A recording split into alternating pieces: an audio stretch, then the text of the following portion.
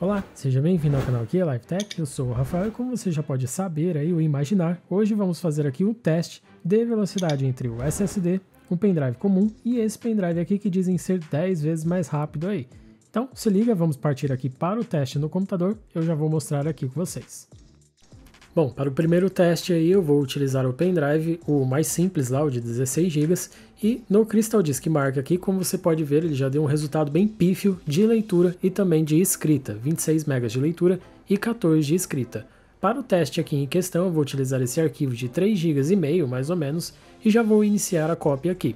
Eu não vou finalizar a cópia toda, pois com esse pendrive em específico, essa cópia vai demorar bastante, e provavelmente vai deixar o vídeo aí bem mais comprido e não tem essa necessidade. Sabemos que esse pendrive é ruim hoje em dia. Como você pode ver no início, ele atinge as velocidades de 20 megas, mas depois vai estabilizando aí entre 10 a 12 megas. Agora então eu vou cancelar essa cópia aqui e trocar para o pendrive da ADATA aí que eu mostrei no início do vídeo. Vamos lá. Bom, agora aqui já estamos com o nosso pendrive do ADATA, onde eles dizem aí ser bem mais rápido, e de fato é, na leitura aí deu 136 megas, é muito mais do que o outro pendrive, o pendrive comum, deu em torno de 5 a 6 vezes mais, e já na escrita deu em torno de 4 a 3 vezes mais de escrita, dando aí o total de 70 megas. Eu vou iniciar aqui a cópia do mesmo arquivo em questão, eu não mencionei antes, mas a HD que eu estou utilizando aqui para fazer a cópia, a HD base no caso, é uma SSD da Samsung também. O modelo, se eu não me engano, é o Evo 860. E agora vamos iniciar aqui a cópia novamente.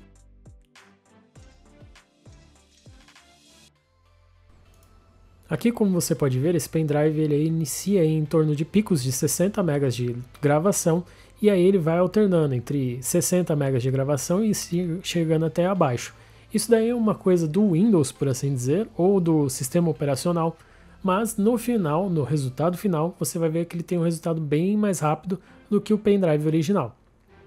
O pendrive anterior estava dando em torno de 5 minutos e esse aqui vai dar o total de 2 minutos mais ou menos. Eu vou deixar acelerado o vídeo aqui e o Rafael da edição vai colocar o tempo total, se você quiser também ver na tela.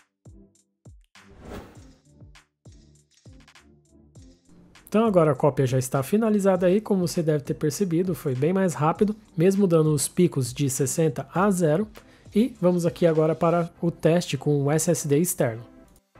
Agora aqui então estamos com o nosso SSD externo. Como você pode ver pelo Crystal Disk Mark, a diferença já é bem gritante, são em torno de 20 vezes, 20 vezes do pendrive primeiro e em torno de 4 vezes do segundo pendrive.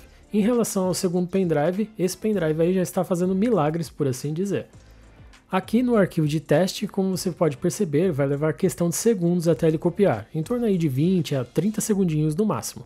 E agora que finalizamos os testes, vamos à minha opinião, o meu feedback aí para vocês checarem e ver se vocês concordam ou não. Se não concordarem ou se concordarem, deixem aí nos comentários, beleza? Então, pessoal, após aí os testes, e inclusive os outros testes que eu fiz em outro dispositivo, vai estar rodando aí na tela, os testes que eu fiz de gravação com os três pendrives, com os três dispositivos aqui, gravando do PlayStation 4 para eles, você vai ver que há uma diferença gritante no tempo na minha opinião, não vale a pena. Não vale a pena utilizar pendrives hoje em dia. Vale muito mais a pena você ter um SSD numa case aí externa, que seja 3.0 em diante, do que você adquirir pendrives que sejam ou menores para colocar Windows, etc., ou com velocidades mais rápidas aí.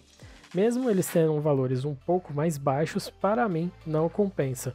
Para mim compensa mais utilizar um SSD, mesmo que seja para armazenamento e transferência de dados, ou simplesmente deixar aí para instalações do Windows, com as suas versões do Windows 7, 8, 10 e etc. A diferença de velocidade e também de custo-benefício, por assim dizer, é muito gritante. Por exemplo, aqui nestes pendrives eu paguei em torno de 40 reais, mais ou menos nesse daqui, com o frete incluso, em torno de 50 a 60 reais nesse pendrive aqui, dando um custo aí de mais ou menos, se eu não me engano aqui, 2,50 por giga e um real, 1,50 por giga, enquanto esse daqui dá em torno de 50 centavos por giga, porque são 480 gigas e eu comprei aí na promoção por 250 reais, já incluso o frete.